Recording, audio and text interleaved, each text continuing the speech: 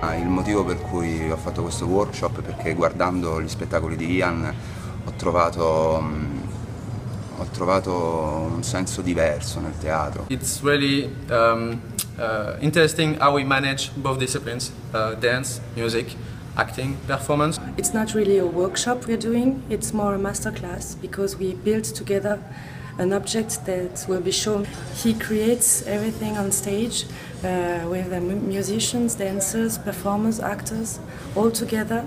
I learn to be more free on the stage and to make confidence to my feelings, to my intuitions.